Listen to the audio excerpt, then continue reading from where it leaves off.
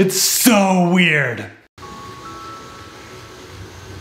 These are rollers. I'm sure you're all familiar with what rollers are and how they're ridden, but if I asked if you thought a bike could balance and ride on rollers all on its own, what would be your answer?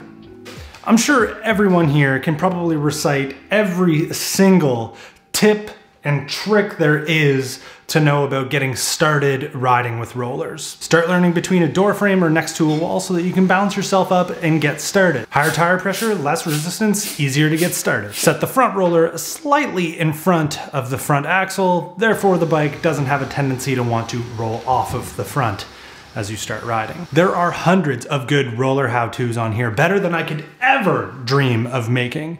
But what I'm interested in here is what is the science? How is it that someone has the ability to ride stably and balanced while in a stationary position without having any sort of support coming from the sides to keep you from falling over.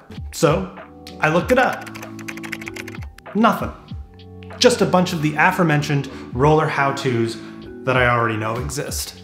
Okay, I've been assuming that my understanding of how a bicycle operates and is able to self-balance was complete and comprehensive. And if you were to ask me for an explanation, I would have provided something along the lines of, it's a combination of forward momentum and the conservation of angular momentum, with a clumsy added recollection of this experiment from middle school, a spinning wheel in your hand on a spinning chair. And for good measure, to sound a little more sciencey, throw in, it's all gyroscopic, you know?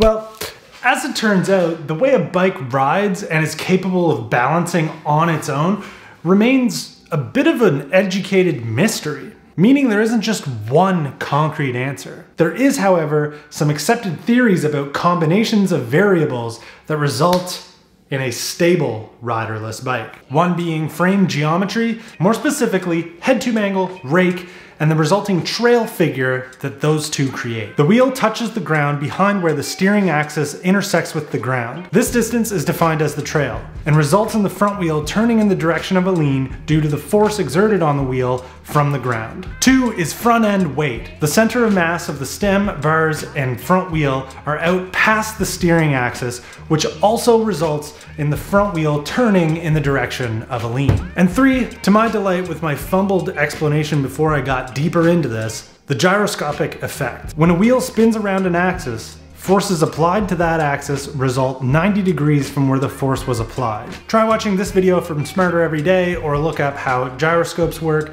Either way, this results in the wheel wanting to turn towards the direction of a lean. What all three of these variables have in common is the tendency to turn into a lean, bringing the bike back up to a vertical, straightforward riding position. Think of it as the opposite of what happens when you counter steer to initiate a lean through a corner. Seemingly infinite combinations of these variables, some more than others, will result in a stable riderless bike when pushed with enough speed to move forward. The common denominator in all of my research is that all stability comes from the front end.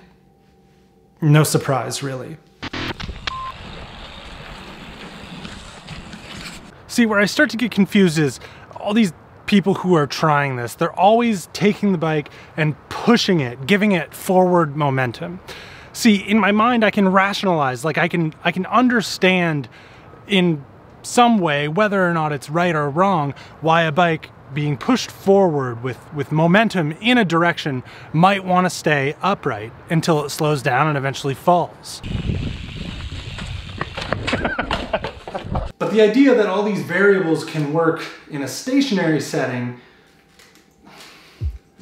kind of breaks my brain a little bit. Putting all my doubts aside and studying the design of rollers with the presented variables in mind, the theories of stability definitely apply. The front roller is attached by a long elastic to a rear drive roller allowing the rider to exploit and control the inherent self-stability of a bicycle. It's not uncommon to see a new roller rider drift from side to side of the drums while riding, obviously attempting to stay as centered as possible, but wobbling to success nonetheless. If a rider can turn and correct movements while riding on rollers the same way that they can on the road, there's not really much to say that a riderless bike can't also use the variables presented earlier to remain stable and balanced while riding alone on a set of rollers as well. So theory, theory's fun and all, but practice, that's entertainment.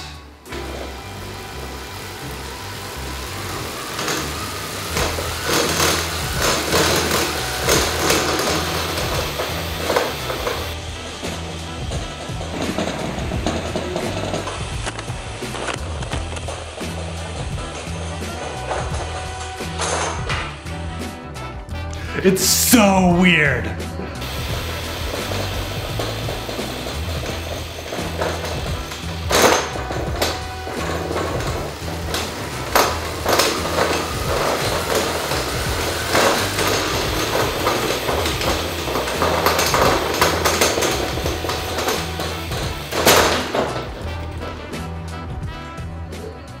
Whoa.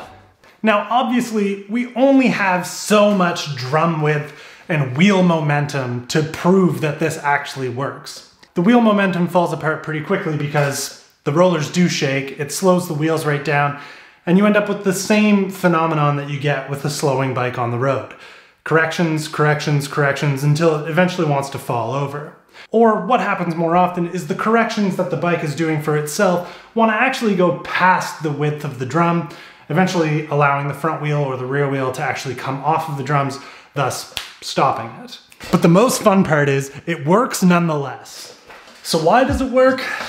Why is it that we're able to ride stationary in one position and still have balance, not falling over? Well, the elastic that connects the front and rear roller together allow both of the wheels on the bike to rotate at the same speed. This replicates the same conditions that the wheels would be spinning at while on the road, allowing the front wheel the ability to track and do the work that it needs to do to keep the bike stable and upright. If we were to disconnect this elastic, no matter how hard you pedaled, the bike will fall over like there's no pedaling happening at all. Interestingly, but not surprisingly, some of my bikes that have different geometry than the fairly neutral geometry that's on the Schwinn Fastback, like one of the channel's beloved machines, the Rockhopper, that has a slightly slacker head tube angle, resulting in more trail than what the Schwinn has, exhibits different stability characteristics on the rollers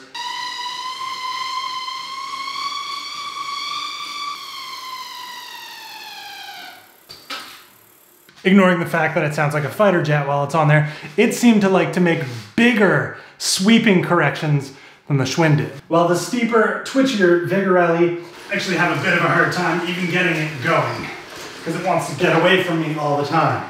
Though it seems I'm able to correct for some of the steering geometry by moving the front roller back and forth a little bit to contact the tire patch where it would prefer be for better handling.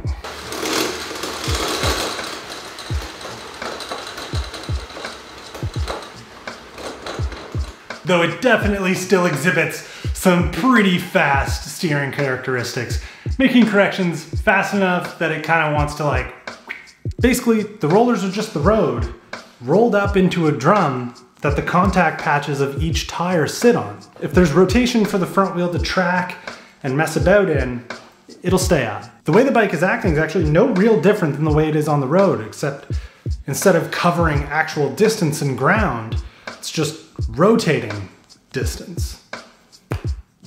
It's just sort of bizarre to see happen. Hey, if you liked this style of video, this format, these are the types of things that I'm kind of working on as I've become a full-time YouTuber for 2021. You can support by going through Patreon, the Spindatt store, getting merch there, all of which go towards supporting this channel, keeping things viable, and keeping us going into the next years to come. And hey, if you order stickers, I'll probably draw you a picture and add it in there.